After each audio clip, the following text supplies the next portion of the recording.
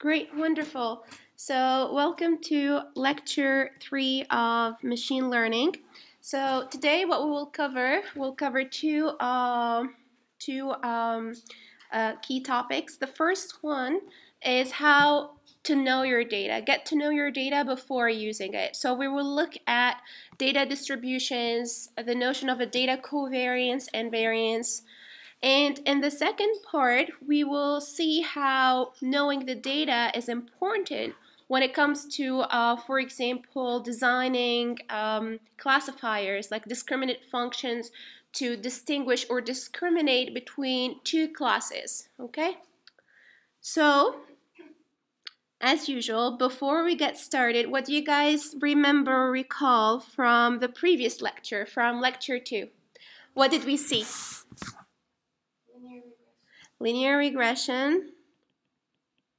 Okay. Outliers. Outliers. More, guys? Supervised learning. Yes. Keep saying, keep. Huh? Semi-supervised learning.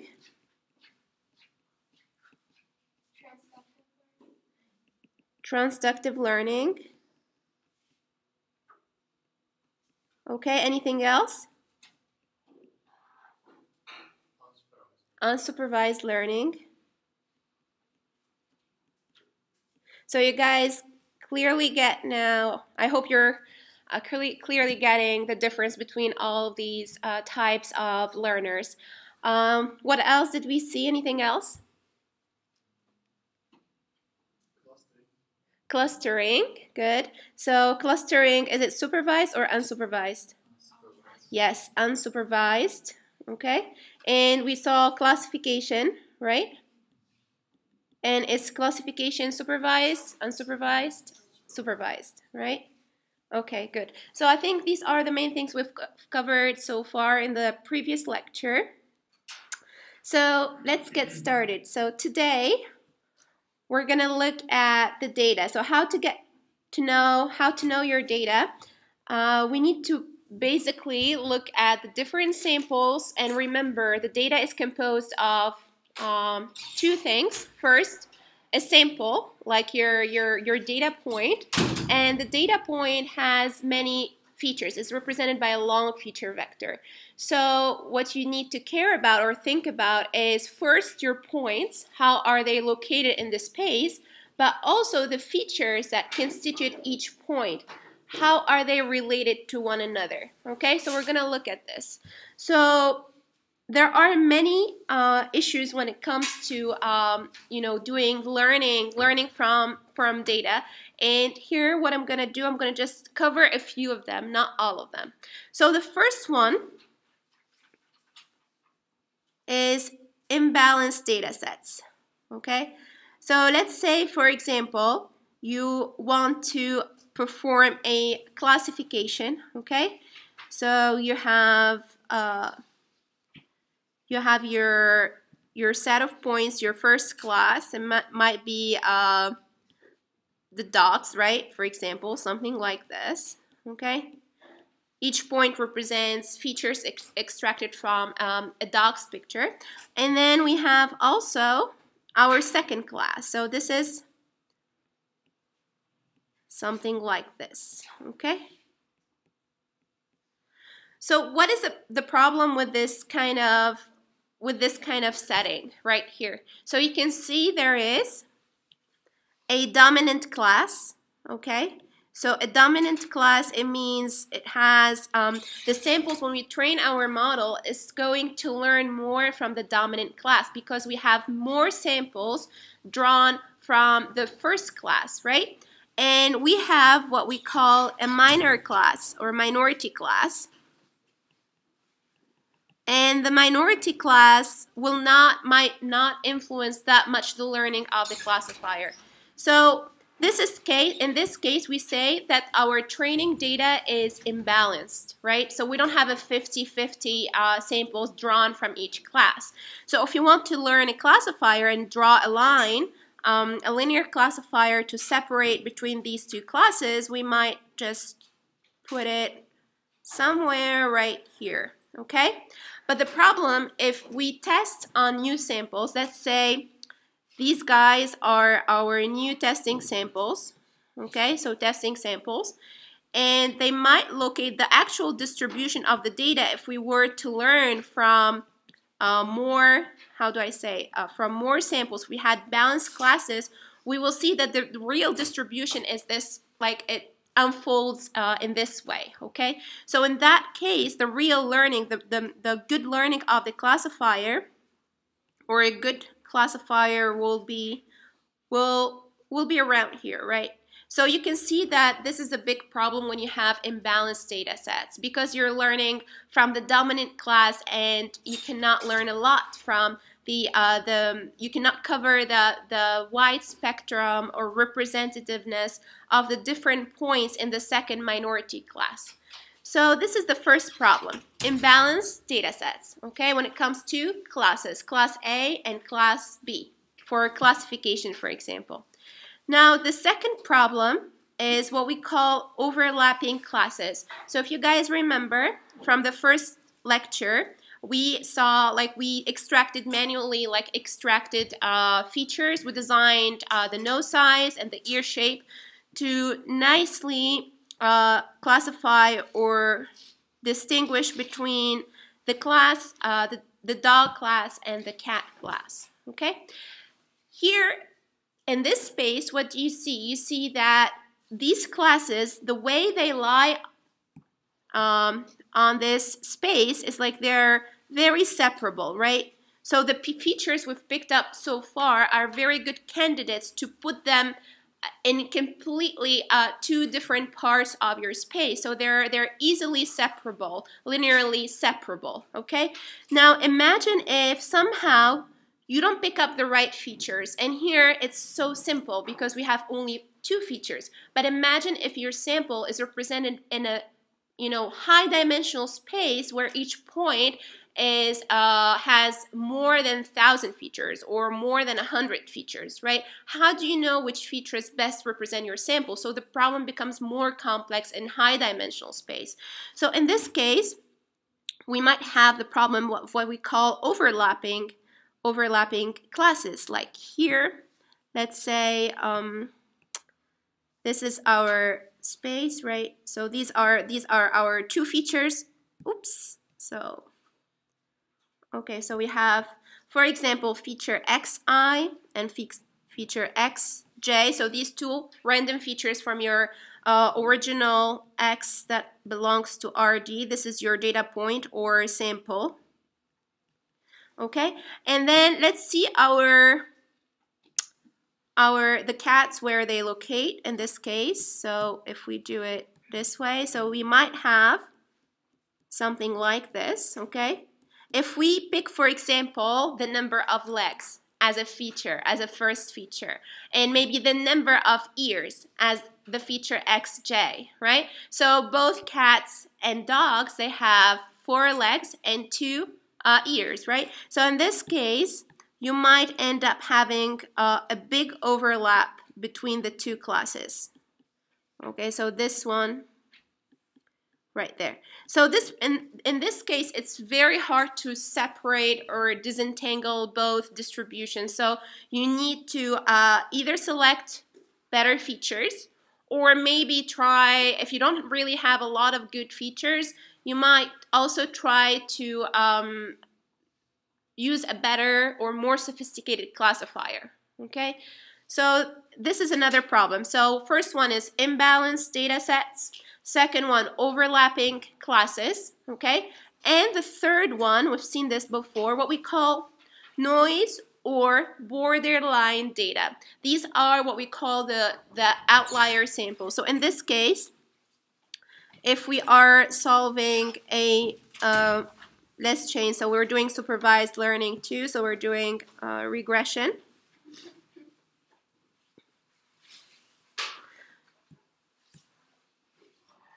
so we have something like like these are our data points we want to predict so this is the input x, this is the target to predict y, for example.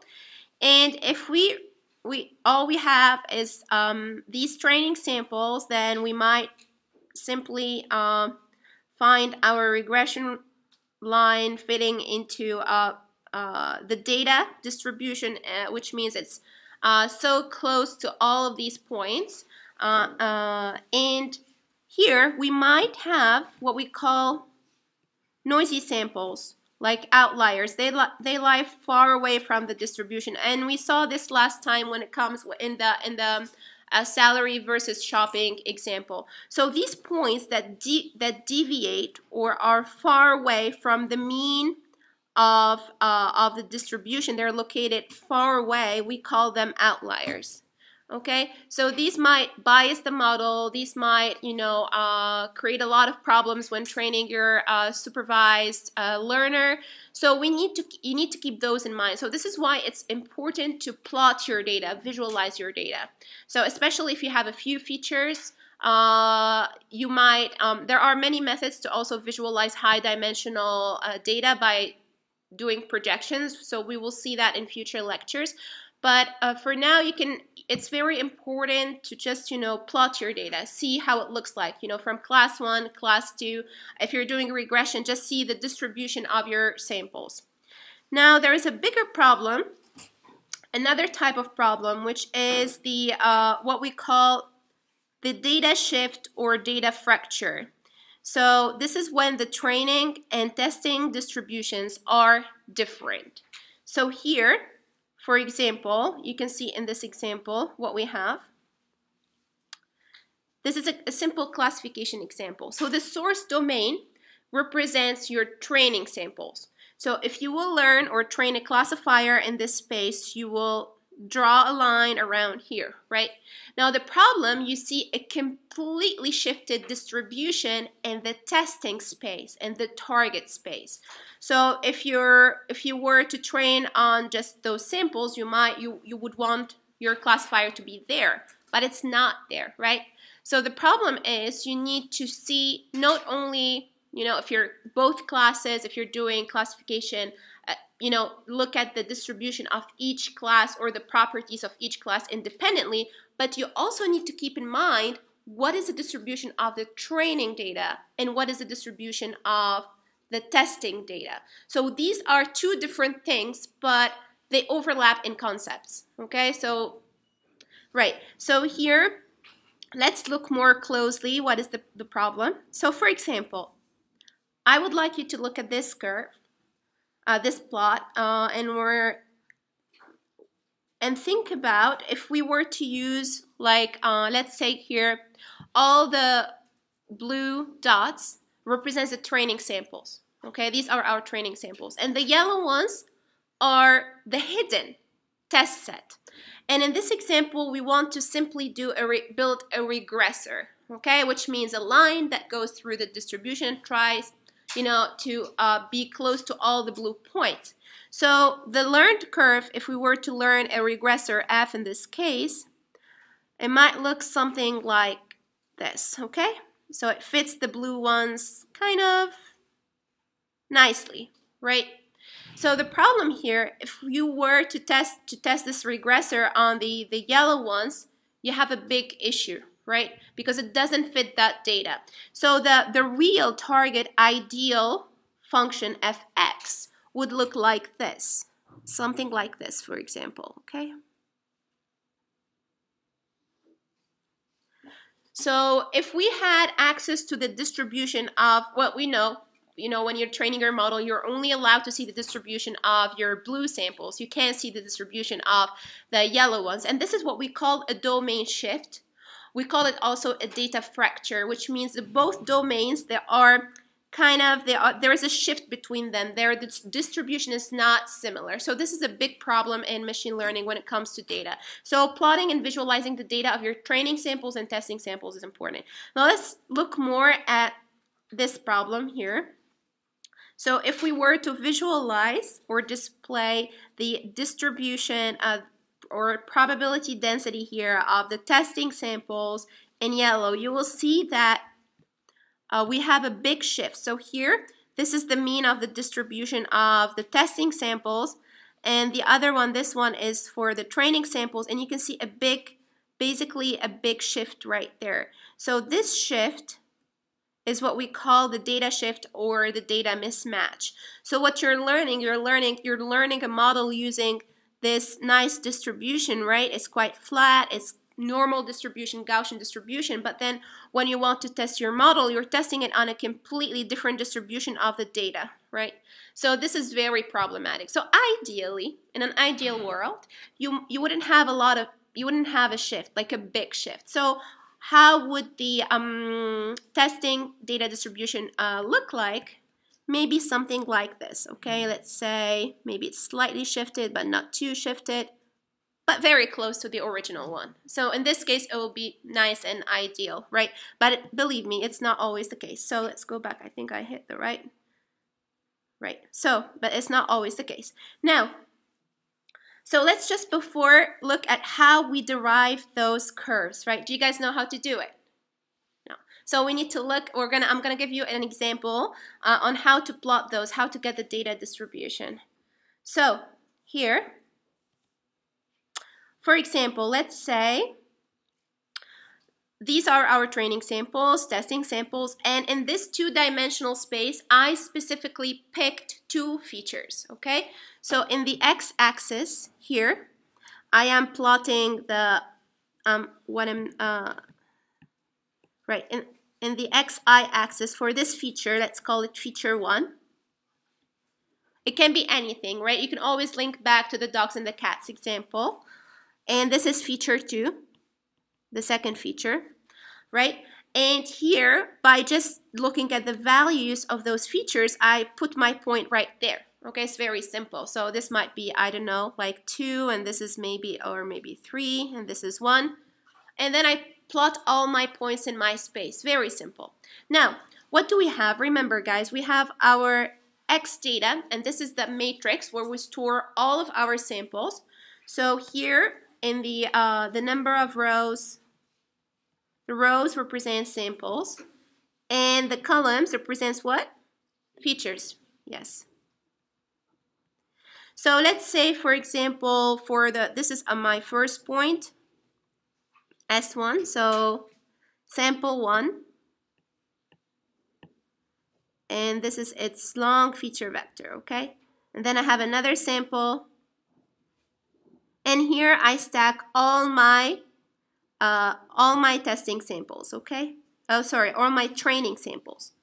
So this is my uh, XTR data, okay? That's a matrix, a submatrix of this matrix, right? And then we what we have, we have also the testing samples. So this is maybe X, let's call it STS1. And these are all my testing samples that I left out for testing, okay? Now, we need to look at which features in this case. We need to find the features xi and features xj. Okay, so in this case, let's say these are, this is the uh, ith column, and this is the jth column, okay? And then what we do, we just take those um, values, right, and plot our points. Very simple. You got that, right? So first value, like here, for example, for S1, this um, should be 3, and this should be 1, okay? So after that, we need to get the probability, the distribution of, let's say, of feature 1 in this case. So a single feature. So the ith feature. So what do we do? We take for, let's say we're looking at just the training samples. So we're taking, for example, the X train. So all those features right here. Oh, maybe I should use another color. Okay, so all those features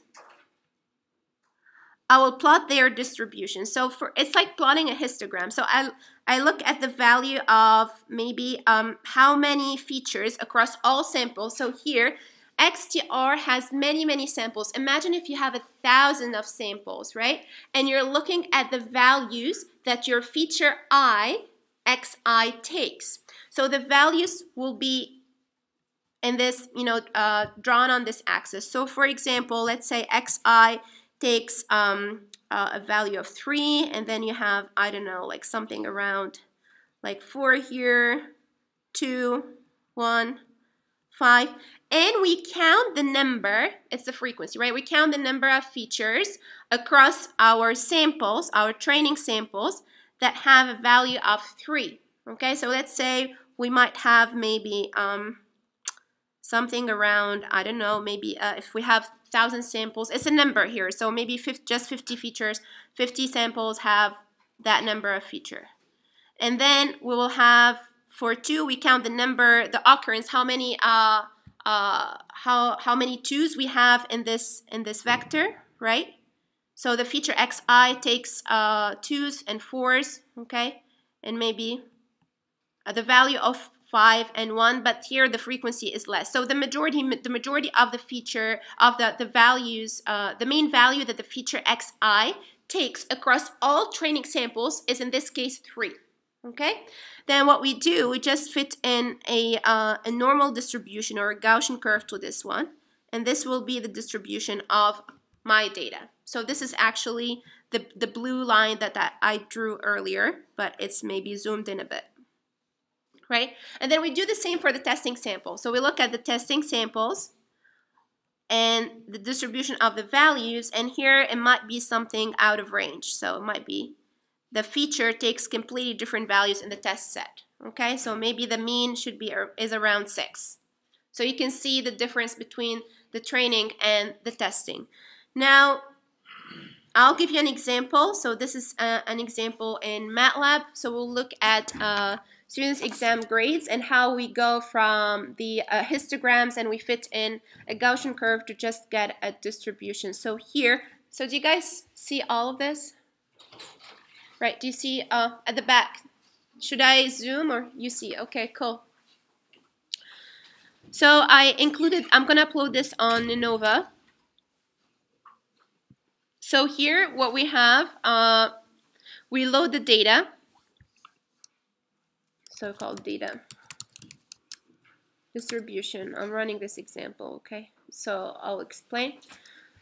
So here we have the data uh, exam grades and uh, the sample contains 120 by 5 matrix of students exam grades so 5 exams 120 is the number of students okay and each student has 5 marks each for you know uh, a specific exam so in this what we're doing right here we're retrieving uh, the feature the second feature which is like the second exam okay across all students so, and then what we're, we're building our, uh, our um, data right there, it's X.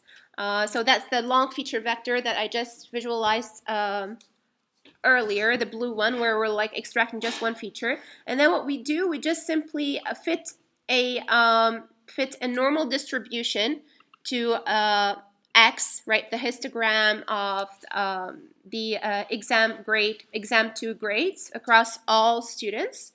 And we visualize it's very simple. So right here what you guys can see so the exam grades are the mean is around maybe uh, 70 uh, 74.8% and you can see the distribution of the data using this feature. Feature one is exam the feature here is exam 2 right and the samples are the students uh, let's say you want to do classification for example so you want to see uh, the distribution of the uh, the um, the feature exam across different uh, different different students, but not just one. You you want you do, you wouldn't want to judge a student by just one exam, but multiple exams. Okay, so we can also change the exam number. So maybe take one here, and you can see if we plot the distribution, you can see a change in the distribution, and this is clearer right here. So you can see the change right there, okay? And yeah, so this is, you know, very simple. You can do this to any data set, even the data I have given you. So you can pick two random features and plot their distributions and see whether they uh, overlap between testing and training samples. And also you can look at the distribution across classes, not just training and testing sets if you're using five-fold or ten-fold cross-validation. Okay? So, do you have any questions? Is it clear up to here? Yes? It's clear, but